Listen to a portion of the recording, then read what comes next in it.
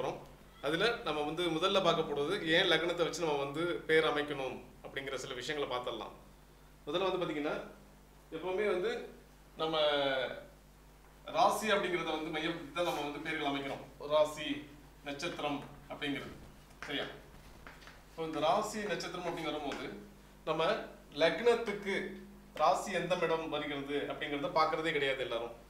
எல்லாரும் என்ன பண்ணுறாங்கன்னா ஒரு குழந்தை பிறந்த உடனே அது பிறந்த நேரத்தை வச்சு அந்த குழந்தையினுடைய நட்சத்திர நாம எழுத்துக்களை வச்சு தான் அவங்க வந்து பலன்களை சொல்கிறதுக்கு முயற்சி பண்ணுறாங்க அந்த நாம எழுத்துக்களில் என்ன வந்திருக்கோ இப்போ எக்ஸாம்பிளுக்கு வந்து அஸ்வின் நட்சத்திரம் அப்படின்னா அஸ்வின் நட்சத்திரத்துக்கு என்ன நாம எழுத்துக்கள் வரும் அப்படின்னா எல்ஓ யூ வி ஏதாவது ஒரு நாம எழுத்துக்கள் வருதுன்னு வச்சுக்கோங்க. இந்த மையப்படுத்தியே வந்து அவங்க வந்து அந்த பேர்களை வைக்கணும்னு சொல்லி முயற்சி பண்ணுறாங்க இப்போது ஒரு குழந்தை மேஷ லக்னத்தில் பிறந்திருக்கு.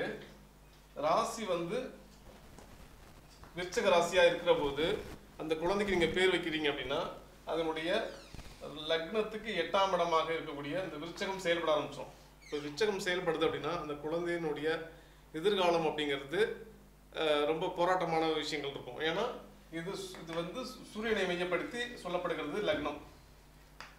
சந்திரன் சந்திரனை மையப்படுத்தி ராசி சொல்லப்படுகிறது. அப்போது இந்த சூரியனும் சந்திரனும் ஆறுக்கு எட்டாக இருக்கிற மாதிரி ஆகிடும் சரியா? அப்போ சூரியனுக்கு லக்னத்துக்கு ஆறு எட்டாக அந்த குழந்தையினுடைய பெயர் அமைஞ்சுது அப்படின்னா அதனுடைய வாழ்க்கை அதனுடைய மனநிலை எப்படி இருக்கும்? இப்போ சந்திரன் வந்து பார்த்தீங்கன்னா மனம் ப்ளஸ் உடல் குறிக்கக்கூடியது. இப்போ மனம் உடல் அப்படிங்கிறது சந்திரனை மையமப்படுத்தி செயல்படுது. அப்போ சூரியனை மையமாப்படுத்தி லக்னம் செயல்படுது. இப்போ இந்த லக்னத்துக்கு இது ஆறு எட்டா போயிடுச்சு அப்படின்னாலே அவங்களுடைய அந்த குடும் குழந்தையோ அல்லது அந்த பெரியவங்களோ அவங்களுடைய வாழ்க்கை முறை வந்து ரொம்ப கேள்விக்குறியாகவும் அவங்க வாழ்க்கையில் தடுமாற்றங்கள் அதிகமாக இருக்கும். ஒரு முடிவை செயல்படுத்த முடியாத வகையில் அவங்க ரொம்ப பிரச்சனையை ஹேண்டில் பண்ணுவாங்க. அதுவே இதே இடம் வந்து திதிசூன்யம் ஆயிடுச்சு அப்படின்னா ரொம்ப இன்னும் ரொம்ப போராட்டமாக இருக்கும் அவங்களோட வாழ்க்கை. சரியா? இப்போ திதிசூன்யமோ அல்லது நீசமோ அஸ்தங்கமோ அஸ்தமனமோ இதுமாரி ஏதாவது ஒரு விஷயம் ஏற்பட்டுச்சுனாலே அந்த பெயர் வச்சு நீங்கள் வந்து புரோஜனம் இல்லாமல் போயிடும். பெரிய பெரிய ஜோதிடர்கள் என்ன பண்ணுறாங்க எடுத்த உடனே ஒரு குழந்தைக்கு பேர் வைக்கணும் அப்படின்னா அவங்க வைக்கக்கூடிய முறை என்ன பார்த்தீங்கன்னா என்ன பண்ணுறாங்க எடுத்த உடனே அந்த குழந்தைக்கு பேர் வைக்கிறது. பிறவி எண். அப்புறம் விதி எண். இதை மையமாக பண்ணுறாங்க மையமாக வச்சு இதுக்கு காமனாக வந்து நியூட்ரலாக இருக்கக்கூடிய இல்லை ஃப்ரெண்ட்லியாக இருக்கக்கூடிய இந்த ஒன்று அஞ்சு ஆறு இல்லை மூணு இந்த மாதிரி எழுத்துக்களில் இந்த மாதிரி நியூமராலஜி நம்பர்ஸில் வந்து பேர் அமைச்சு கொடுத்துட்றாங்க நீங்கள் லக்னத்துக்கு அது எத்தனாவது ஸ்தானமாக வருகிறது அப்படிங்கிறது யாருமே பார்க்கறது கிடையாது. அப்படி பார்க்காத போது தான் அந்த குழந்தையினுடைய எதிர்காலம் பிரச்சனைகள். ஏன்னா இது எப்போ காட்டும்னா தசாபுத்தி வரும்போது காட்டும். இந்த இடத்துல ராகுவுக்கு எதுவும் டிராவல் பண்ணுறாங்க இல்லை சனி பகவான் டிராவல் பண்ணுறாருன்னா இந்த இடத்துல சந்திரன் மேல டிராவல் பண்ணும்போது லக்னத்துக்கு இட்ல வந்து டிராவல் பண்ணால் என்ன ஆகும்? உங்களுக்கு அதிகப்படியான பிரச்சனைகளையும் துன்பங்களையும் கொடுக்கக்கூடும் இது காலபுருஷனுக்கு எட்டு. காலபுருஷனுக்கு விச்சக லக்னம்ங்கிறது மர்மஸ்தானத்தை கொடுக்கக்கூடியது. அப்போது அவங்களுக்கு திடீர் பிரச்சனைகள் தோணும் கூடிய இடம். அப்போது இதுக்கு பேஸ் பண்ணி இந்த லக்னத்துக்கு பேஸ் பண்ணி இதுக்கு இதுக்கும் இந்த லக்னத்துக்கும் பிரச்சனை இல்லாத ஒரு நல்ல ஒரு தீர்வான ஒரு இடத்த பார்த்து இந்த குழந்தைக்கு பேர் வைக்கணும் அப்படிங்கிறத பற்றி தான் பார்க்க போகிறோம் இப்போ முதல்ல வந்து பார்த்திங்கன்னா மேஷ லக்னக்காரர்களுக்கானது என்ன லெட்டர்ஸில் பேர் அமையணும் அவங்க என்ன கலர் பயன்படுத்தணும் அப்படிங்கிற என்ன நம்பர்ஸ் பயன்படுத்தினா நல்லாயிருக்கும் அப்படிங்கிறத பற்றி அந்த பதிவில் பார்க்க போகிறோம் சரிங்களா?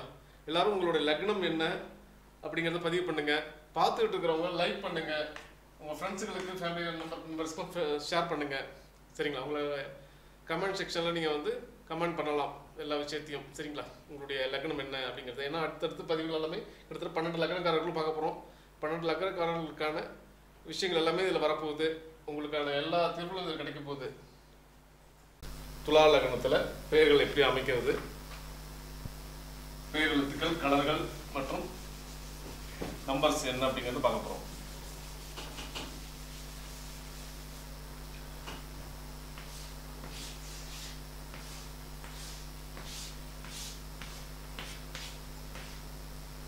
துலா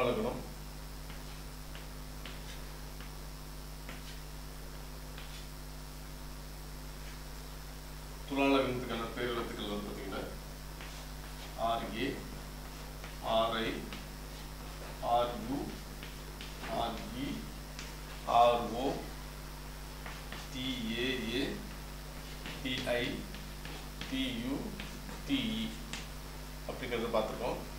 இப்போ இதுக்கான எண்கள் ஆறு பதினஞ்சு இருபத்தி நாலு முப்பத்தி மூணு நாற்பத்தி ரெண்டு பதினஞ்சு அறுபது. இதெல்லாம் வந்து இந்த நியூமராலஜியில் பேர் அமைக்கும் போது கவனிக்க வேண்டிய நம்பர்ஸு பயன்படுத்த வேண்டிய கலர் வந்து royal blue violet rose pink கலர்களை நீங்கள் பயன்படுத்தணும். சரியா? இப்போது எழுத்துக்களில் வந்து இந்த மாதிரி ஆறு சம்மந்தப்பட்ட எழுத்துக்களை நீங்கள் வந்து த- பயன்படுத்தணும். ஒன்று அஞ்சு ஒம்போதில் ஒன்று அது இந்த எண்களில் இந்த மாதிரி ஆறு பதினஞ்சு இருபத்தி நாலு முப்பத்தி மூணு நாற்பத்தி ரெண்டு பதினஞ்சு ஐம்பத்தி ஒன்று அறுபது இந்த எண்களை பயன்படுத்திக்கணும். Royal blue violet rose pink இந்த கலர்களை பயன்படுத்தணும். சிறப்பாக இருக்கும். இந்த துலாலகத்தில் பிறந்தவங்களுக்கு ஒன்றாம் இடத்துக்கானது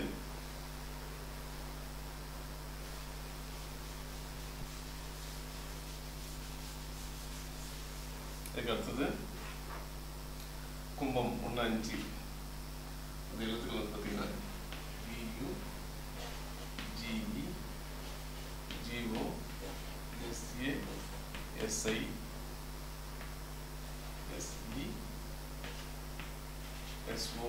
P A இந்த எழுத்துக்களை இந்த குழந்தைக்கு பேர் அமைக்கும் வந்து கவனிக்க வேண்டியது. நாலு எட்டு பதிமூணு பதினேழு இருபத்தி ரெண்டு இருபத்தாறு. இதை நீங்கள் இந்த குழந்தைக்கு பேர் அமைக்கும் போது கவனிக்கணும். இந்த எண்களை கொண்டு கலர்கள் பிளாக்கு கிரே டார்க் ப்ரௌன் அப்படிங்கிறது நீங்கள் வந்து சிறப்பான முறையில் கவனிச்சு பேர் சிறப்பாக இருக்கும். சரியா? அடுத்து ஒன்பதாம் இடம். ஒன்பதாம் இடத்துக்கு இந்த எழுபத்தி முடிங்க அடுத்தது ஒன்பதாம் இடத்துக்கு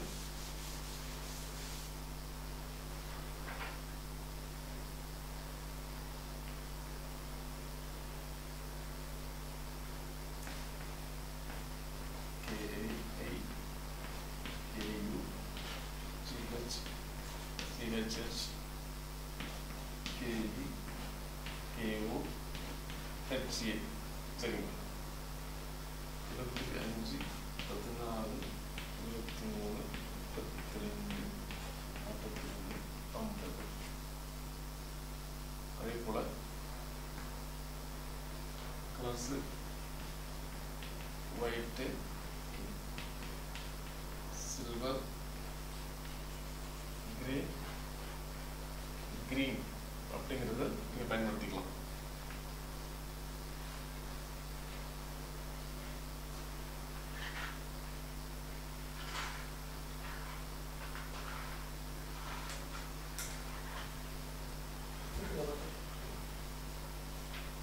இப்போ அடுத்தது வந்து பார்த்தீங்கன்னா இப்போ மூணு ஏழு பதிமூணு அப்படிங்கிறத பார்க்க போகிறோம்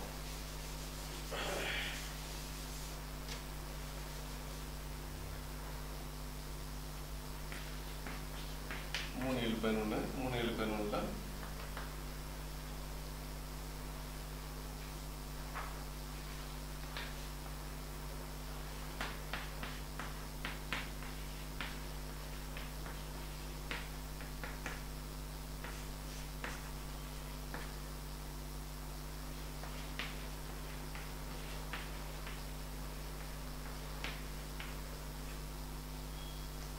இந்த நம்பர்ஸில் இந்த லெட்டர்ஸில் வந்து நீங்கள் வந்து பேர்கள் எடுத்துக்கணும் குழந்தைகளுக்கு. மூணு பன்னெண்டு இருபத்தொன்று முப்பது. இந்த நம்பர்ஸில் பேர் அமைக்கிறது சிறப்பாக இருக்கும். அடுத்தது கலர்ஸில் பர்பிள் வயலட் இண்டிகோ ப்ளூ இது சிறப்பான ஒரு விஷயத்தை கொடுக்கக்கூடிய கலர்கள் எண்கள் மற்றும் பெயர் எழுத்துக்கள் சரியா? நாமத்துக்கு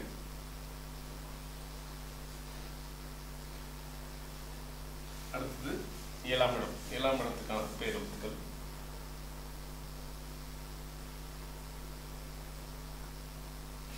C H U C H E C H O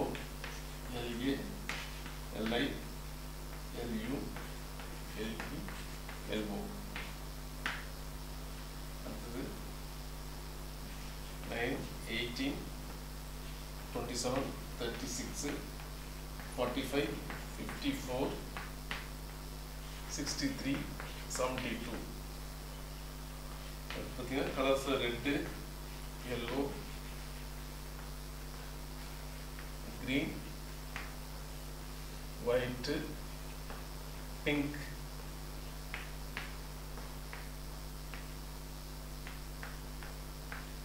இந்த கலர் நீங்கள் பயன்படுத்திக்கலாம். சரியா? இப்போ குழந்தைக்கு பேர் அமைக்கிறீங்கன்னா இந்த மாதிரி லெட்டர்ஸு நம்பர்ஸு கலர்ஸ் இது சில பேர் தரக்கூடியதாக இருக்கும்.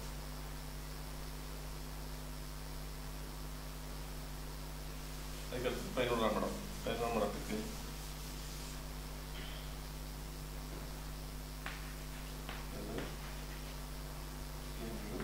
M E M O T A T I T U T E ஒன்று நாலு பத்து பதிமூணு பத்தொம்போது இருபத்தி ரெண்டு கலரில் கோல்டு எல்லோ